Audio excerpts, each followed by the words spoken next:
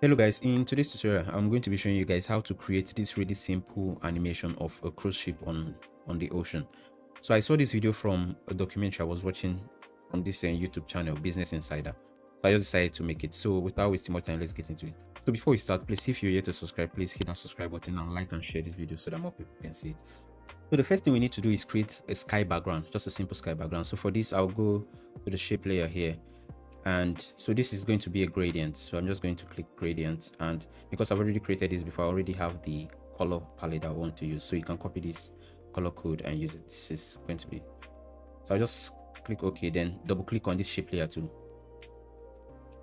double click here to create this gradient here. So to make this more to look more like a sky we need to go down to the uh, rectangle one.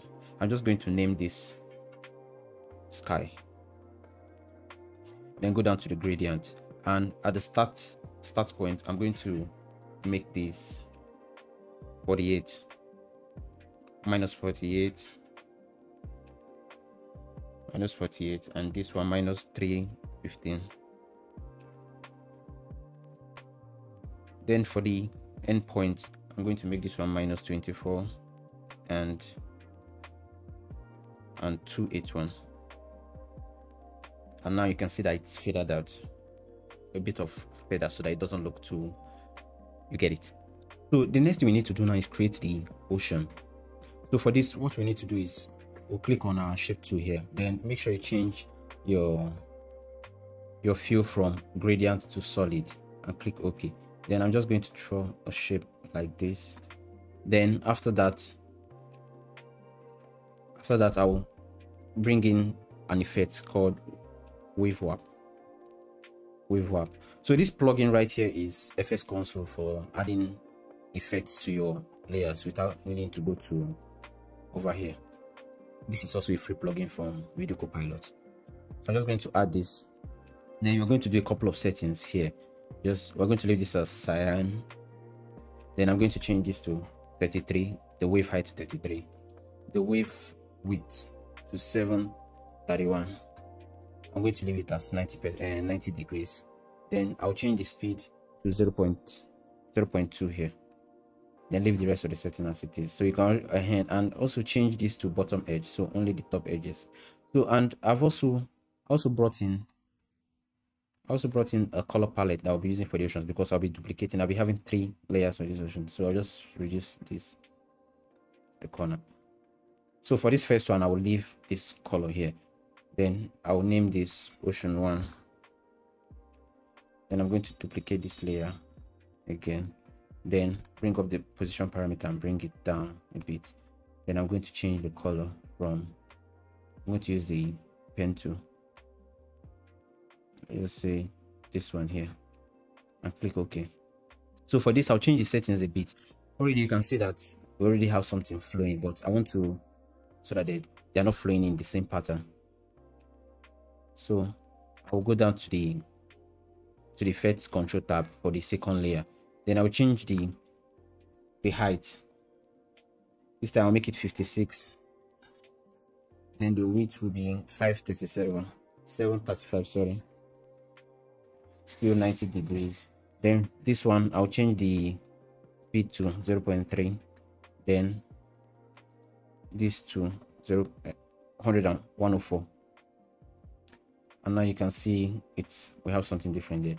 Also i'll just click here again and make this three. Then click on your position parameter to bring it down a bit.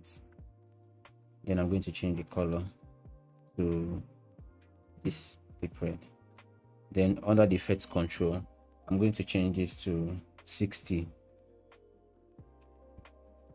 60 this to 750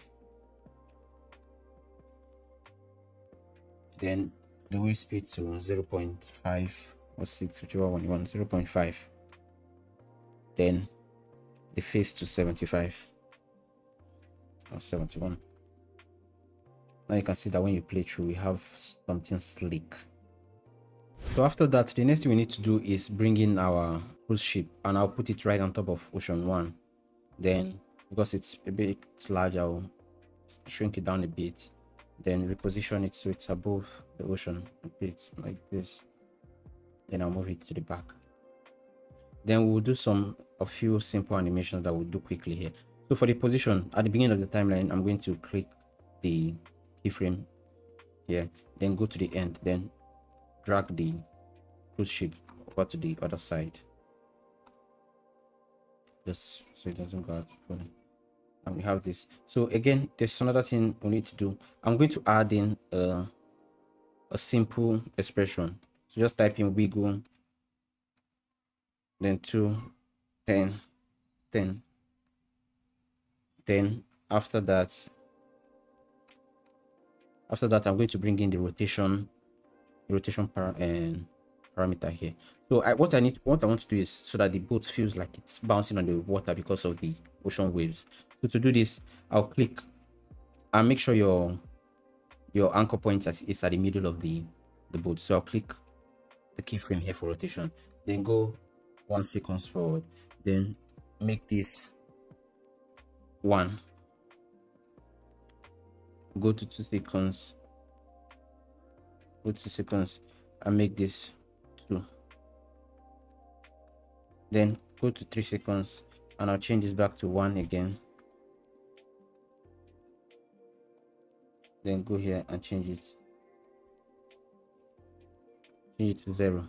So you get the point. So just do this for the entire for the entire duration of your this or you can just maybe copy this one and paste it here. I don't know if it will work just paste it on five. Five here. So let me just play this quickly and see.